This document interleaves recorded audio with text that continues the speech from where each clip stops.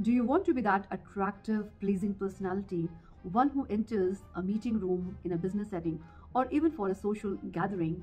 Everybody goes, wow, or oh.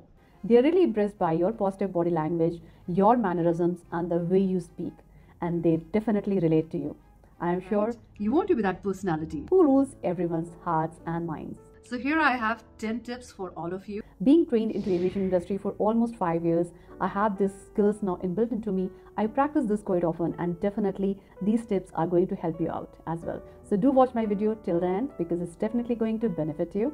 And do not forget to like, share, and subscribe my video because it definitely motivates me to make more interesting videos for all of you. So do keep watching. First point that comes under building an attractive personality is number one, your body language, which communicates almost 55% about you even when you are not speaking. So, how do you maintain that positive and attractive body language? You need to keep your chin parallel to the ground, okay? It should not be like this, it should be always parallel to the ground. Your shoulders should be upright, they should not be slouching, they should be in an upright position like this. Your spine should be erect. The spine, all right, it should be erect, it should not be slouching. And then comes your eye contact. Eye contact should be engaging, they should not be like staring too much, they should be gentle.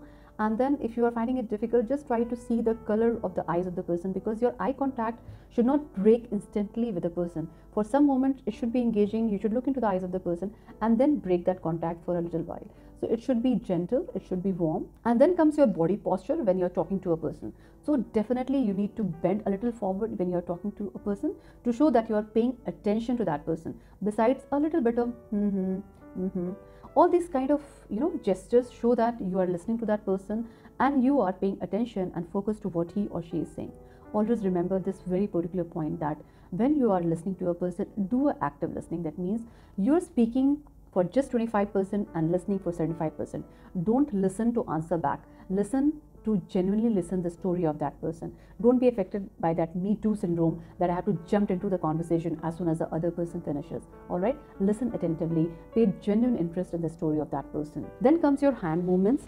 With this close kind of gesture you show that you're not interested into the talk of that person or the conversation of that person. So open up open hand gestures because this reflects that you're open to the communication as well as you are having a positive body language and a lot of self confidence so open up your arms and show appropriate gestures. Your hand should not fly too much into the air. They should be appropriate well measured and paced. So have that appropriate hand gesture.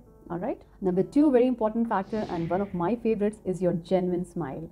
Wear that genuine smile on your face whenever you want to make those positive and lasting impressions all right? And what is the difference between a genuine and a fake smile? When you genuinely smile your mouth and your eyes both work. So your lips curl up and your eyes they will be you know genuinely showing some wrinkles towards here. However when it's a fake smile only your lips curl up. However your eyes don't show any emotions. So that is why have a genuine sweet warm smile on your face whenever you're having a conversation and whenever you make those positive and lasting impressions upon someone because that shows that reflects your inner confidence and how you radiate your charm to others as well smile is contagious right so once you see somebody smiling at you you definitely smile back at that person even without saying anything so do smile your smile is beautiful, right? See, I see you smiling at this moment. Lovely. Keep smiling whenever you're having that conversation with that person, be it in a business setting or a professional setting, whenever it is needed. Third one, social etiquettes. Very important and which is, I believe, always taken for granted. So, one of the important points under social etiquette is that take the name of the person whenever you're having the conversation with him or her. For example, Miss Menka, how are you today? Mr. Peter, how is everyone in your family? all right so take the name of the person because taking the name is like music to the person's ears and you know it brings a connection and a closeness with that person and it sounds much more professional and uh, shows your confidence as well all right then comes the second point which is using words like please thank you excuse me these words are generally taken so much for granted but believe me they really help to make a very positive connection with the person right in front of you and this shows your attractive personality as well so don't ever take these words for granted. Whenever you have to use these words, do use them appropriately. One of the nice gestures when it comes to social etiquette is holding the door for somebody, be it a lady, be it a man, be it a child. So if you hold a door for somebody, definitely it adds to your good mannerisms. Be a promise keeper. If you promise somebody that you will turn up at 5 o'clock in a coffee shop, do turn up precisely at 5 o'clock. Don't delay it. Be punctual. All right, punctuality is also one of the key traits of showing your attractive personality.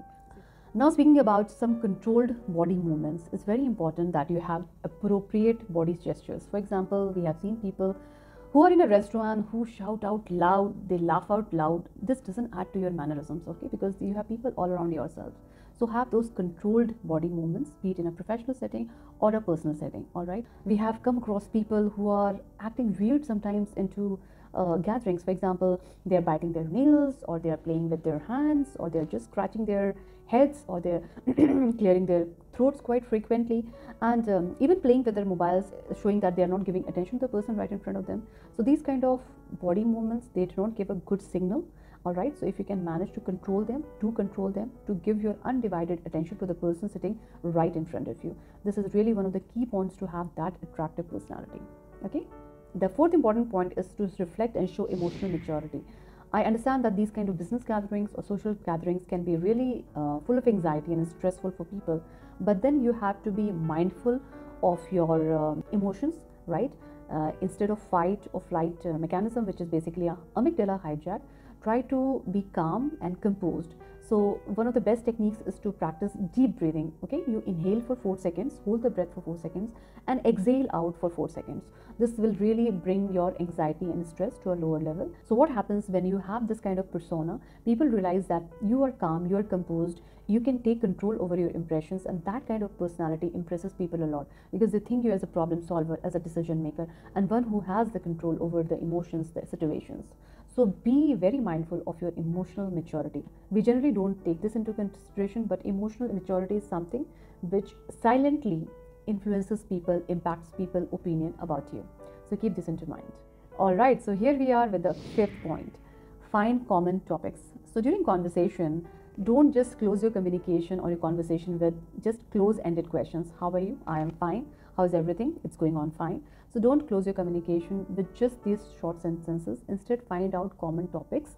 Definitely, you have to respect the other person's opinion and judgments and their boundaries. But yes, common topics like your favorite restaurant, the food, the common joint, uh, hobbies, the TV shows, the movies. These are something which are really, you know, uh, are related to a person's choice, and uh, they are really good in um, engaging the other person in a long ended communication or long ended conversations. So, have those engaging topics ready in your mind, and these are kind of icebreakers which help you engage very positively with that person. So, have those topics ready and communicate flawlessly while also respecting the other person's limitations and judgments. All right, so find common topics of communication with the other person to make those lasting impressions in their minds. All right, so the sixth point is add a good sense of humor. And uh, here I would like to say that we should be adding laughters and smiles and you know sprinkles of joy into everything. This I have learned from my Toastmasters community.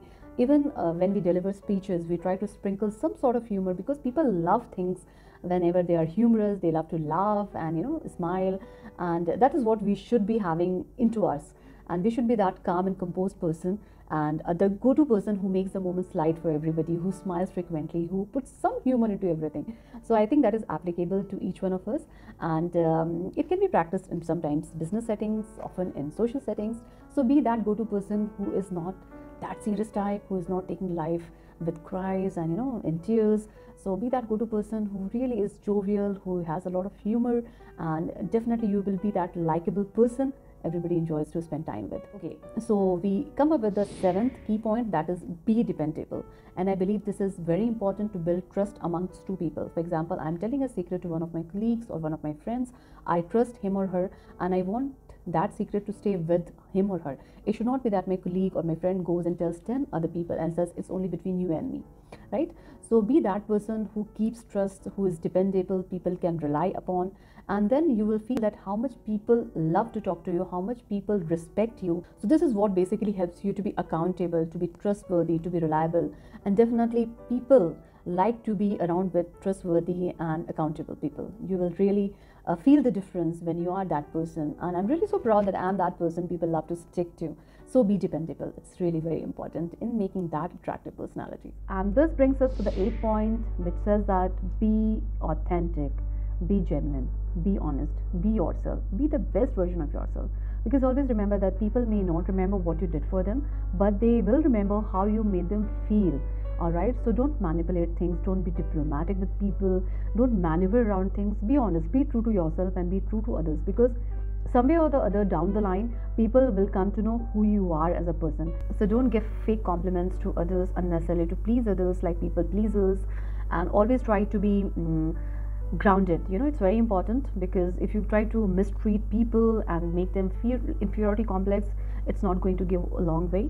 So always be uh, grounded and be kind and considerate not only to the ceo of the group but even to the security or the watchman of the group. He also deserves an equal um, kindness uh, or equal treatment all right? So be that authentic you who's kind and considerate to everyone and that will definitely make you an attractive lovable and pleasing person all right? So let's go ahead with the ninth point so the ninth point says that learn the art of saying no which is very difficult very challenging i believe for each one of us. We don't know the art of saying no and we always get confused that the person will be really very uh, hurt if we say a no. But as a matter of fact if we say a no it shows our confidence. It shows that we are in control of our situations and we know what our priorities are at that moment.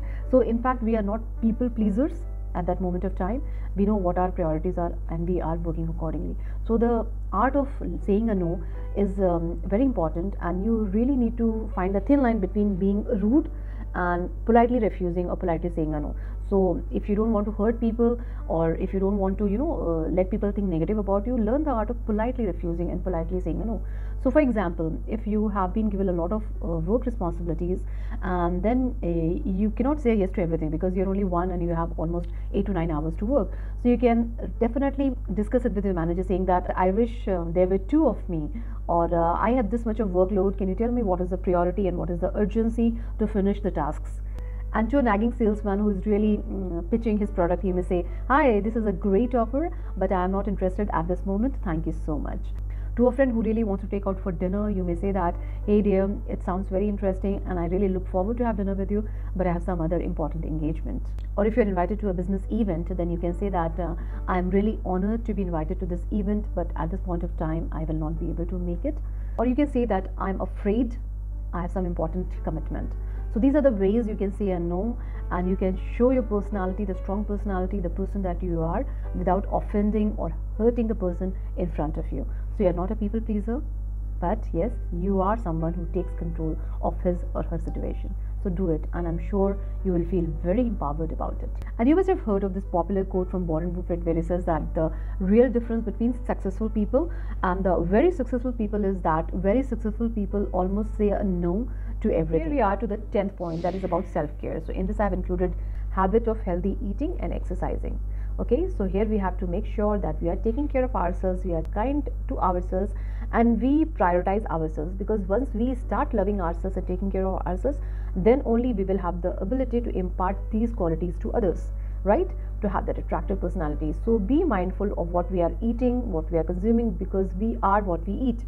So when we are mindful of what we are consuming and we are not indulging into a lot of calories intake or junk food, we will stay healthy. And the second point in this is that we need to have regular physical exercises because it's really important for our body to stay in shape and get rid of the toxins. And also, it's very healthy as per the research for our minds and the brains to work effectively. So both these things go hand in hand. So be very mindful of uh, the habit of healthy eating and exercising and practice it seven days in a week religiously as per your body requirements. As it is said that it's important to be selfish before being selfless. Alright, so take care of yourself first before helping others out. So these were my 10 points which are really very important for having an attractive, pleasing, charming personality.